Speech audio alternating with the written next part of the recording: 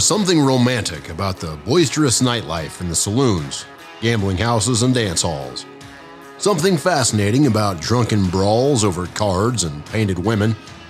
And something thrilling about famous gunfighters snuffing the life out of equal famous gunfighters with six shooters.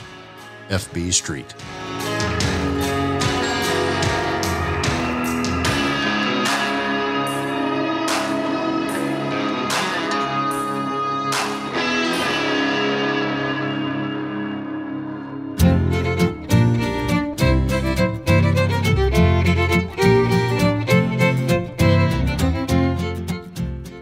End of the 19th century, as railroads began to stretch toward the western frontier, a new type of town began to emerge. These were primarily cow towns, characterized by lawlessness and violence, but they eventually evolved into more peaceful centers of agricultural communities. The Kansas cow town was established out of necessity to meet the settlers' needs and provide a means of commerce. The cattle industry played a significant role in the growth of these towns, serving as the population's primary income source for almost two decades. A cow town was often depicted as a rowdy place where gunshots could be heard. Windows were smashed and saloons were filled with cowboys drinking cheap liquor and talking to prostitutes about longhorn cattle and the thrill of fighting. Despite being seen as wild and rough, a cow town was economically steady However, if the town became too quiet at night, it was a sign of trouble and could lead to economic issues.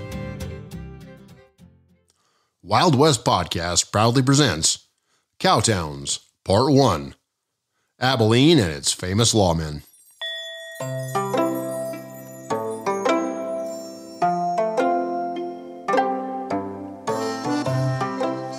During the early days of cowtowns, they were primarily inhabited by adventurous frontier men looking to make a quick profit. When cattle driving and shipping season began, a large number of nomadic cowboys, prostitutes, and gamblers would flock to these towns. As the prosperity brought by the cattle trade began to boost the economy of these towns, grangers, merchants, artisans, laborers, and their families started to settle there. This gradually led to the single frontier men moving further westward. As the railroads expanded westward, Ellsworth, Hays City, Newton, Wichita, Dodge City, and further towns south and west became cattle shipping points. During this time, some 5 to 6 million cows parted through the multifarious shipping junctures on their way to the market. Of the many towns that grew up around this thriving industry, only four or five ever received national acclaim as wild and woolly cow towns. The cowboy at the terminus of the Northern Drive was a distinguishable kind. His convention on the range made an uncompromising injunction on his endurance capabilities. It signified that he might have to consume the more consequential facet of a year without the conveniences of a bed to rest from his grind or a roof over his head for preservation from the elements. Much of his duration was dispersed in the saddle, sometimes two or three days at a time. Moreover, the cattlemen were paid 25 to $40 for the trek, which provided them with plenty of money to spend on entertainment at the end of their journey. One commentator said, When these boys reached the terminus of their drives, this little settlement was a metropolis to them and they sought to enjoy themselves as best they could with such means as were available. After expending 30 to 60 days on the trail in dust, heat, storms, and elevated water, existing on coarse meals, he was ready for and deserved a slight leisure. When the herd was loaded or sold and he had drawn his pay, he was prepared to open up. He typically started by affixing an untried outfit from the fancy quilted top, tight fitting dress boots with the pronounced Lone Star in the tops to the new Stetson 10 gallon hat. This new hat alone sometimes commands as much as $75. The trail ridden individual extracted the grime of the trail, visited a barber shop, and then donned his new accoutrements, ready to begin his respite and repose period. The establishments on Texas Street catered to his most destructive intensities. The saloons, gambling houses, dance halls, and houses of ill fame blossomed and flourished on his sort. He might become hilariously intemperate, often becoming engaged in an altercation over money, a girl, or some matter deferred on the journey up the Chisholm Trail, and it all too often culminated in gunplay. In these circumstances, the Texas cowboy was a precarious character to encounter. J.B. Edwards, a pioneer who lived in Abilene during the cattle trade, says When the Texan connected with the cattle trade and got to tanglefoot abroad, he was highly liable, under the least provocation, to use his Navy's six shooters. If their fancy told them to shoot, they did so in the air or at anything they saw, and a plug hat would bring a volley from them at any time, drunk or sober. The cowboy's babyless circumstances made him an easy mark for the purveyors of sin. His complete essence was reached within a week of many instances, and he was ready to yield to his vocation on the plains Sometimes the cowboy hawked his ponies or got an advance from his employer. He then used the money to travel back to Texas by rail and water, and sometimes he rode his pony back down the trail with the chuck wagon and the cook. Nevertheless, their appetites were met quickly. Abilene, a sleepy village of a dozen log cabins roofed with dirt and a few business buildings, became a raucous cow town in a few weeks. Soon it had 11 saloons with gambling houses in the back, several dance halls, and a whole colony of sporting women.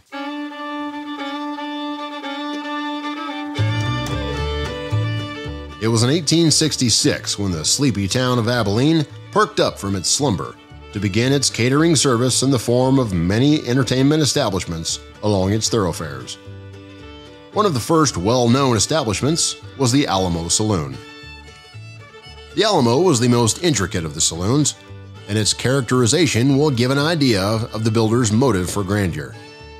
It was harbored in a long room with a 40 foot orientation on Cedar Street, facing the west. There was an access at either end. At the west entrance, there were three double glass doors. Inside and along the front of the south side was the bar with carefully polished brass fixtures and rails. From the back bar arose an immense mirror, which imaged the lustrously plugged liquor bottles. At diverse places over the walls were notable paintings in cheaply done replicas of the nude masterpieces of the Venetian Renaissance painters. The entire floor space shrouded gaming tables where virtually any game of chance could be yielded. The Alamo boasted an orchestra that played mornings, afternoons, and late into the twilight.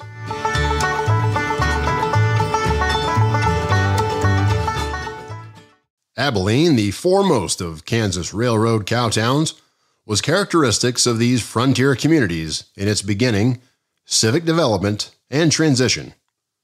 It began as a station on the overland stage lines.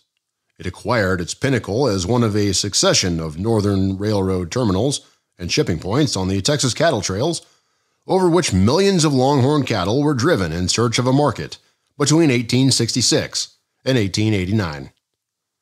At the season's pinnacle, the saloons were the scene of constant activity. At night, their clangors were an assortment of poorly yielded popular music, granulated voices, coarse laughter, and Texan whoops, punctuated at times by gunshots. As Joseph McCoy put it, the cattle trade was accompanied by the ballroom, the theater, the gambling room, the bawdy house, the dance house. Of course, he added, every possible device for obtaining money in both an honest and dishonest manner was abundant. But not all of the coexisting economic expansion was necessarily welcome. Abilene inhabitants seemed shaken when they realized what it meant to be the town at the end of the trail. The cattle trails were approximately 300 miles long, and the trip took 30 to 40 days. The days were long and tiring for the men who tooled the trail but they were ready to celebrate when they reached a market town in Kansas.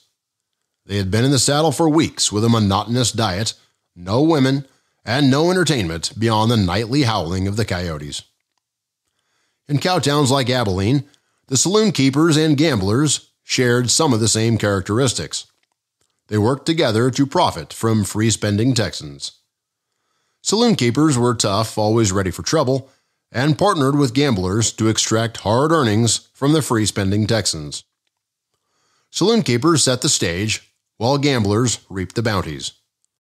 Saloon keepers were usually rugged fellows, ready at all times to meet the emergency created by a rough house. The gambler usually wore costly apparel and flashy jewelry. While at work, he maintained the expressionless poker face and sauntered indifferently from place to place while at leisure. While the games of chance were believed to be relatively free from fleecing, the professional gamblers used the maneuvers of their trade on the liquor befuddled Texans. When this was detected, gunplay was usually the result.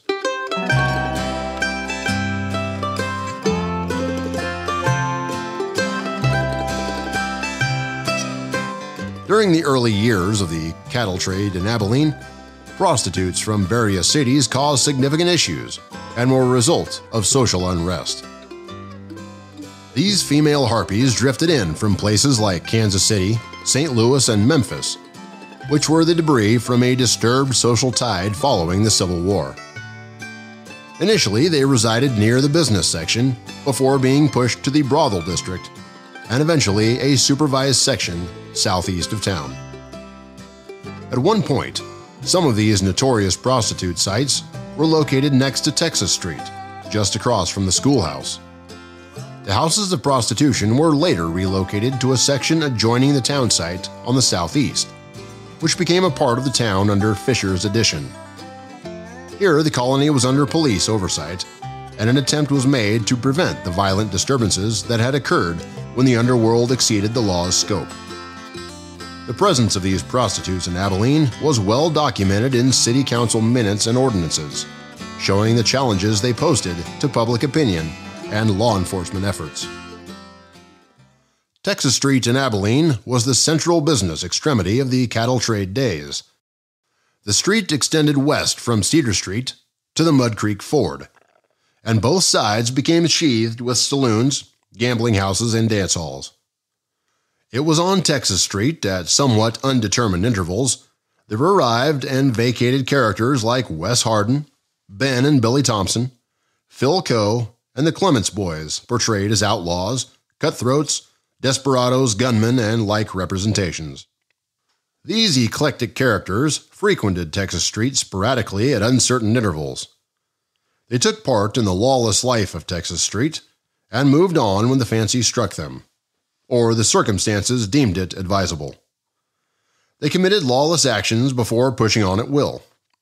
In addition, wealthy individuals, curiosity seekers, Wall Street brokers, and journalists from Eastern dailies also visited Texas Street, seeking excitement and first hand experiences of the Wild West. Maintaining law and order in Abilene during the cattle trade era was not a priority for county officers who needed more effort to address the issue. There were regularly elected county officers, but they made no serious effort to curb the era's lawlessness. They eventually gave up responsibility for handling lawlessness outside their jurisdiction. Before its incorporation in 1869, Abilene had a personal approach to resolving disputes, with little involvement of third parties. It was not uncommon for disputants to engage in gunfights in secluded locations to settle their issues. While friends of the participants would witness these contentions, minimal interference was tolerated as long as rules were followed. However, this approach was risky and often led to fatal consequences. Stuart Henry says When you heard one or two shots, you waited breathlessly for a third. A third shot meant a death on Texas Street.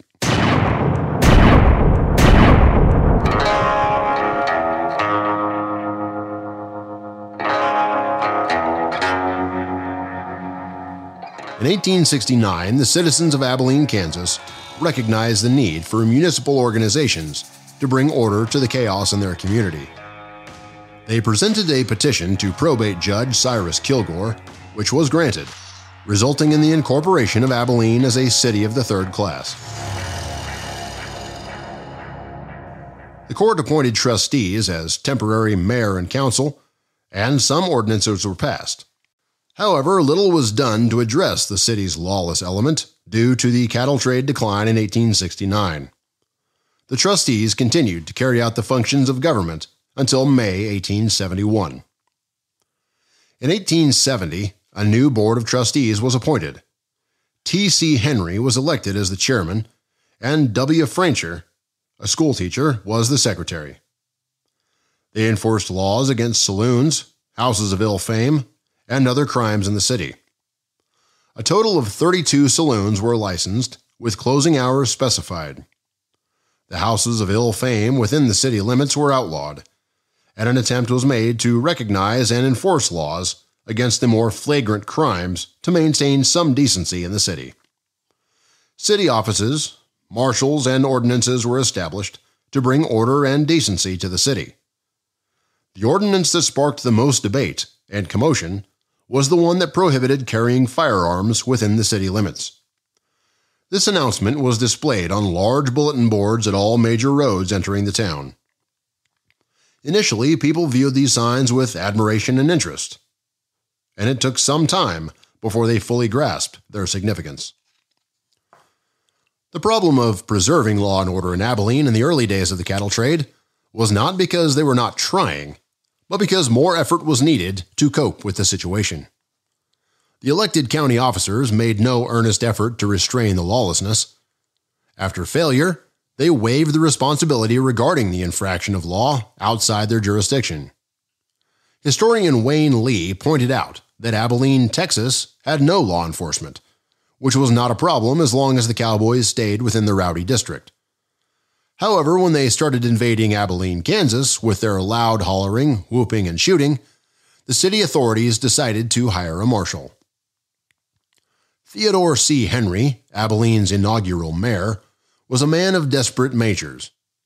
As the cowboys who steered the vast herds of Texas cattle into the town stockyards reveled in the local saloons and bawdy houses upon receiving their pay, Henry needed law enforcement officers to rein in these rugged cowhands.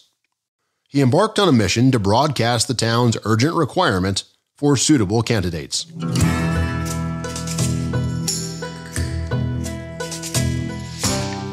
Tom Smith, known as Bear River, was a man of paradoxes. Quiet, unassuming, and soft spoken, he was the least likely person to be associated with law enforcement. Yet this auburn haired man of average height and weight, sporting a thick mustache and piercing blue gray eyes, was a force to be reckoned with when the situation demanded. Originally from New York City, he had ventured westward a few years earlier, serving as a law officer in Kit Carson, Colorado, and Wyoming. In the Wyoming railroad town of Bear River City, he earned his colorful nickname, Bear River Tom. The nickname was earned after he single handedly stood off both groups of railroad workers and townspeople during a violent conflict that erupted due to a railroad worker killing one of the townspeople, which resulted in vigilantes lynching the railroad worker. This in turn resulted in his fellow gandy dancers declaring war on the vigilantes. Troops from Fort Bridger eventually arrived and restored order, but before they did, Tom Smith prevented many deaths with his brave and daring intervention. It was also discovered that he had previously served as a member of the New York City Police Force and as marshal of several Union Pacific terminal towns. However, when Tom applied for the Abilene marshal position, Mayor T.C. Henry thought the 175 pound, 5 foot 11 young man was not up to the job. Several local men were also considered for the job, but they were found to be less qualified. Meanwhile, the situation on the streets of Abilene a once peaceful town, was rapidly deteriorating. Cowboys were openly defying the law and taunting the police officers. They showed no regard for the city ordinances, even going as far as shooting holes in the signs that displayed them. This blatant disregard for the law pushed the city into a state of lawlessness, with the ordinance signs becoming unreadable and exacerbating the situation. Construction had begun on a city jail, but a group of cowboys destroyed it. The jail had to be rebuilt with round the clock guards. The first person incarcerated was a cook from a cattle camp near Abilene. A group of cowboys arrived in town, drove the guards away, busted the door lock, and released the prisoner. They insisted that stores close and even rode into some stores to give their orders. Eventually, they started shooting up the town. A posse of citizens was gathered to pursue the cowboys, and they captured and jailed a few of them. However, the cowboys continued to disregard the ordinance and mistreat law abiding citizens. Two men recommended by the police chief in St. Louis arrived to assess the situation, but they quickly determined that the job was too complicated and returned to St. Louis on the next train. At the beginning of June 1870, the City Council reconsidered Tom Smith's application to become a marshal, and he was hired as the only member of the Abilene police force. His beginning salary was $150 monthly, and he was paid $2 for every person he arrested and convicted. Later, J. H. McDonald was chosen as his assistant. Tom's main priority as city marshal was enforcing the law prohibiting carrying guns.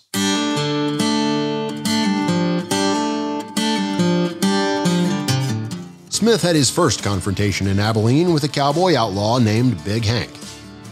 When Smith asked for his gun, the burly Hank Hawkins loudly and profanely declared that no damn Yankee Marshal was taking his gun. Smith struck him with a powerful punch without hesitation, disarmed him, and ordered him to leave town. This fighting style was a complete novelty to the Cowboys, who were accustomed to the quick draw technique leaving them in shock and intrigue. They did not understand how to fight with their fists. Hank's treatment was the subject of extensive discussion in the cattle camps. By morning, the atmosphere was thick with tension, as one of the desperado leaders, known as Wyoming Frank, had already challenged the new marshal and his gun law, heightening the sense of anticipation and uncertainty.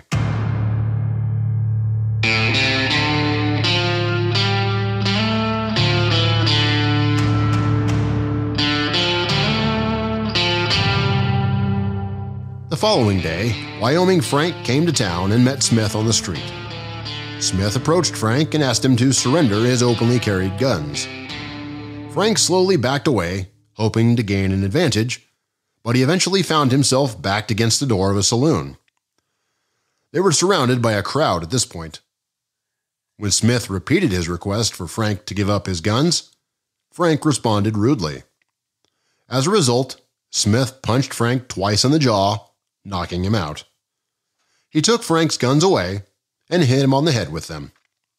Smith then instructed Frank to leave town and never come back. Frank obeyed Smith's orders immediately.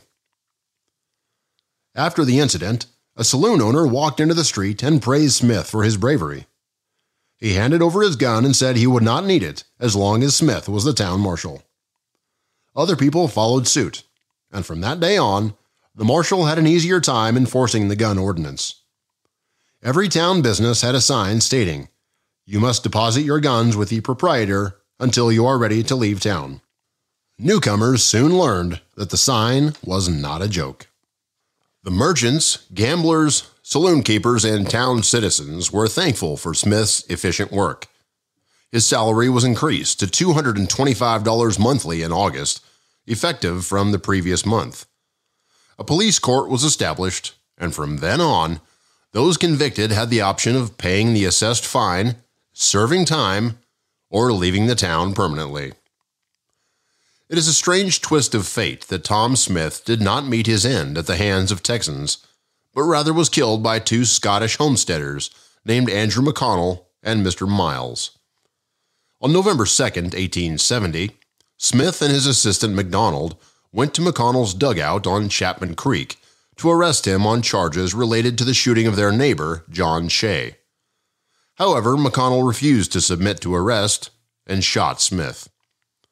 Miles, who was present with McConnell, then proceeded almost to decapitate Smith with an axe. McConnell and Miles fled the scene when McDonald returned with a posse, but they were later apprehended and sentenced to 12 and 16 years, respectively, in the penitentiary. The two captors, Judge C. C. Cooney and James Gainsford, were each awarded $100 reward by the city trustees.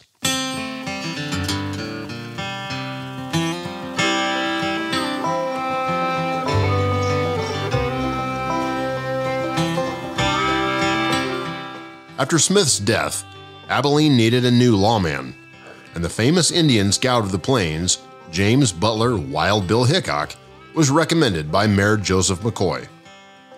Hickok, renowned for his prowess as the best gunman in the West, was unanimously chosen as the new marshal on April 15, 1871. He was paid a salary of $150 a month plus 25% of all fines and arrests made by him.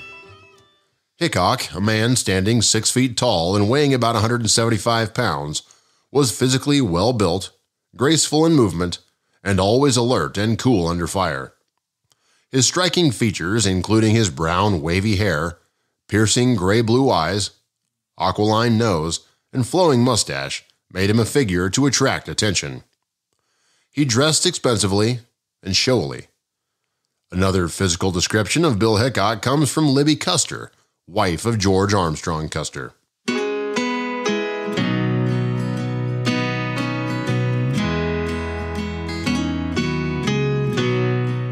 Physically, he was a delight to look upon.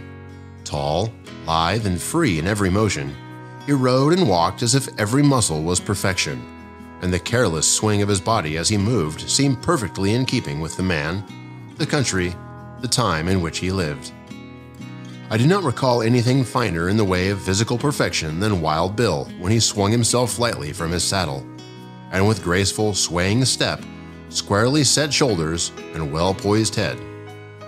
He was rather fantastically clad, of course, but all that seemed perfectly in keeping with the time and place.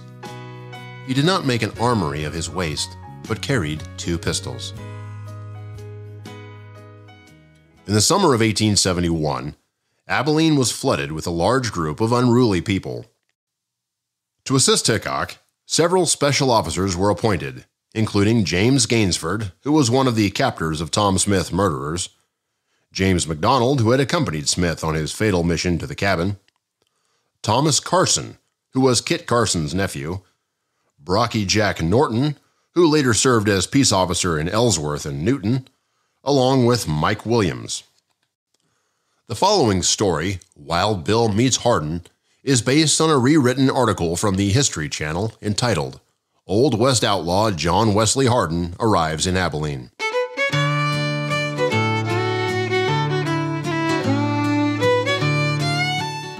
In 1871, at 18, a Texas rancher employed a young man named Hardin as the trail boss for a cattle drive along the Chisholm Trail to Abilene. Hardin was eager to escape Texas, as he had recently slain a Texas State Police guard who was transferring him to Waco for trial. He needed to lay low, but his temper got the best of him during the cattle drive. When a Mexican herd crowded Hardin's animals from behind, he complained to the Mexican in command of the other herd. As the exchange got heated, Hardin shot the Mexican through the heart. When Hardin and his cattle arrived at Abilene, Kansas in 1871, the town marshal, Wild Bill Hickok, exhibited no interest in prosecuting a murder case that had taken place outside his jurisdiction. Instead, he took a paternalistic interest in the young gunslinger. Even though Hardin was 16 years his junior, the two men formed an odd companionship. Like many of the early Western law enforcement officers, Wild Bill Hickok had earned a reputation for himself by perpetrating several killings of his own. Wild Bill may have seen something of himself in Hardin, believing he was a hot tempered young man who would eventually become a helpful and law abiding citizen. On his part, Hardin was simply proud to be associated with the renowned gunfighter. Hickok and Hardin spent several weeks together, drinking and engaging in womanizing. However, the marshal's faith in his young friend's fundamental decency was eventually shuttered. Hardin rented a room at the American House Hotel in Abilene. One night, a stranger in the adjoining room started snoring loudly, which irritated Hardin. Consequently, he began to shoot through the wall to silence the snoring man. The first bullet missed its target and woke the man up. Unfortunately, the second bullet hit the man, and he died instantly without questioning a thing. Hardin realized that his goodwill with Hickok would not save his life. He later said, I believed that if Wild Bill found me in a defenseless condition, he would take no explanation but would kill me to add to his reputation. Wearing only his undershirt, Hardin escaped through the hotel window by jumping to the street below. He spent the night hiding in a haystack, and then at dawn, he stole a horse and returned to the cow camp. He left for Texas the next day, never to set foot in Abilene again.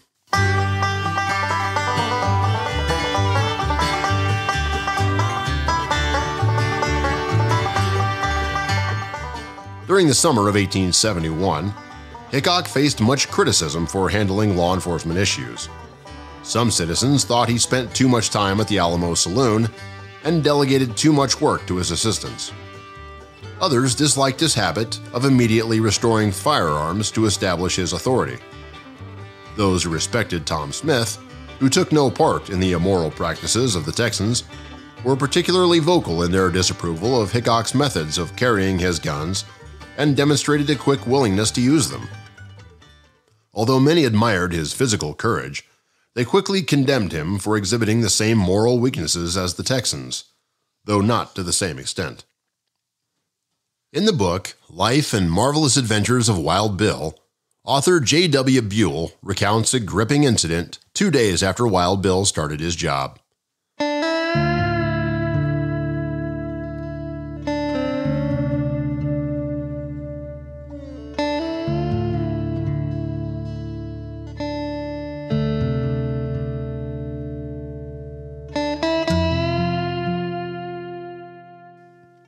Notorious gambler named Phil Coe and his unidentified associate decided to take over the town by causing chaos. It began by breaking windows, harassing women, firing their guns, and other similar acts. When Wild Bill, a beacon of law and order, encountered them, he immediately attempted to arrest them despite knowing Phil Coe's reputation. However, Coe drew his pistol and declared that the arrest would depend on the better man. The tension was palpable as Wild Bill's deputy, McWilliams, tried to calm Coe down and disarm him, unsure of how the situation would unfold. Coe was anxious for a fight and fired at Bill, but he missed his mark. Bill returned the fire, but at the moment he pulled the trigger of his pistol, Coe, in his struggle, threw McWilliams in front of him, and the bullet from the gun struck the faithful deputy, killing him almost instantly. Coe's pal, who until this time seemed a mute spectator of the affray, then drew his pistol and also fired at Bill, the bullet passing through Bill's hat.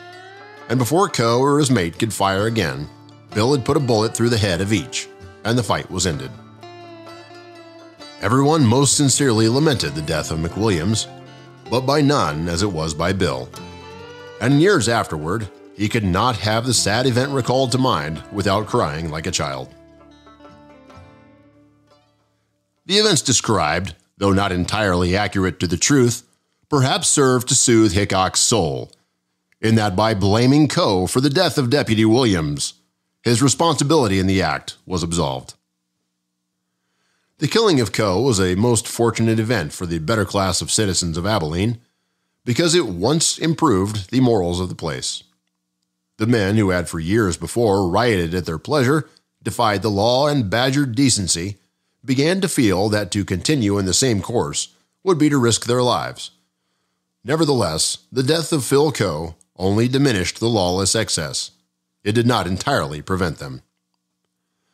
Bill never had another occasion to kill anyone in Abilene, but his club fell heavily on many heads determined on vicious acts. His enemies among the Texas cattlemen multiplied rapidly, and he realized that there was not a moment that he could safely turn his back on any of them. Bill arrested a noted cattle baron for violent conduct on the streets during a ruckus, and as the Texas cattle baron strenuously resisted, Bill was forced to use his club. The man paid his fine the following day, but before leaving town, he declared that he wouldn't get even with Bill before many months elapsed. There was a lot of tension surrounding an incident involving the Texas Cowboys and the citizens of Abilene. Meanwhile, plans to develop the land north of the railroad away from the lawlessness in the southern part of the town, were already underway. The opposition to the cattle trade continued to grow stronger. The cattle season of 1871 was coming to an end, but the sentiments of the citizens of Abilene remained tense.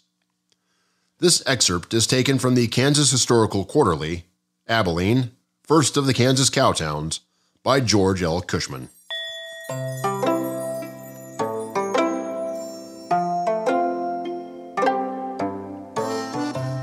Prostitutes from the colony north of town had migrated to Texas Street and vicinity. There were ordinances prohibiting their practices within the city limits, but they were ignored. Petitions signed by women and the responsible people of the city were presented to the council asking for the enforcement of the ordinances but the council was slow to give an ear. In the latter part of June, a restricted zone was established on the land adjoining the town site and owned by George Fisher. Here, the bawdy houses might be located where shooting and stabbing and all night life could be indulged in full blast. During the summer of 1871, an undercurrent of hard feelings had developed between Marshall Hickok and some Texans, encouraged by Phil Coe and Ben Thompson, proprietors of the Bull's Head Saloon. The feud came to a crisis on the evening of October 5th. The end of the cattle season was nearing, and some Texans were celebrating their departure with a farewell spree on the streets of the city. They began their party on Texas Street about sundown. They carried Jake Karatofsky to the Applejack Saloon, where he was made to stand treats. This they did to other citizens they happened to find on the streets. They found Wild Bill in a boarding house eating his supper he would have no part in their pranks, but he sent them to the bar of the Novelty Theater, where there they could get drinks at his expense. About 9 o'clock, while Hickok and his deputy Mike Williams were in front of the Novelty Theater, a shot was heard around the corner on Cedar Street. Bill hurried through the east door of the Alamo Saloon and went quickly to the front, asking in a rough manner who had fired the shot. Phil Coe, at the front with pistol in hand, replied that he had shot at a dog.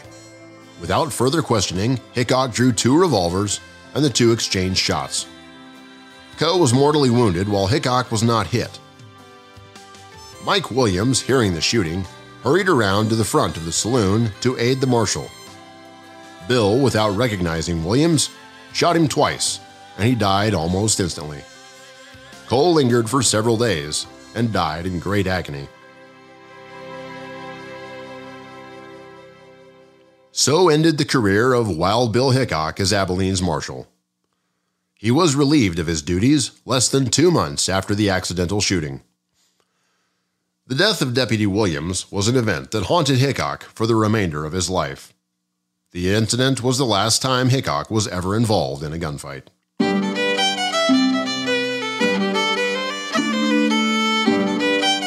If you are interested in more cattle trail history, the Western Cattle Trail Association is delighted to announce that it will be hosting an exclusive 150th anniversary conference in Dodge City, Kansas on November 1st and 2nd. This two day gathering, reserved for those truly passionate about the history of the Western Trail, is not just a celebration, but also a unique platform to delve into the history of the Western Trail, provide free historical trolley rides of Dodge City, and a roundtable to discuss the formation of a cattle trails consortium.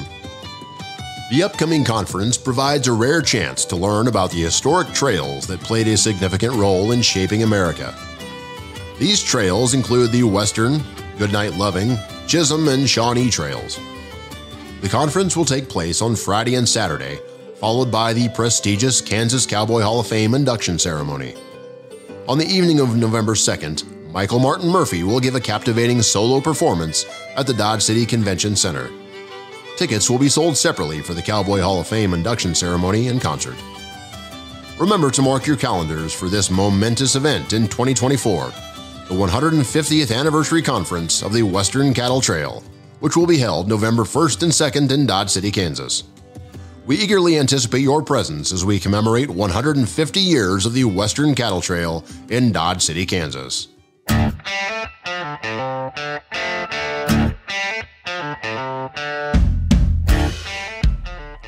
That's it for now. Remember to check out our Wild West podcast shows on iTunes or wildwestpodcast.buzzsprout.com. You can also catch us on Facebook at facebook.com slash Wild West Podcast or on our YouTube channel at Wild West Podcast, Mike King YouTube. So make sure you subscribe to our shows listed at the end of the description text of this podcast to receive notifications on all new episodes. Thanks for listening to our podcast. And make sure you check out the Western Cattle Trail Association website at westerncattletrailassociation.com.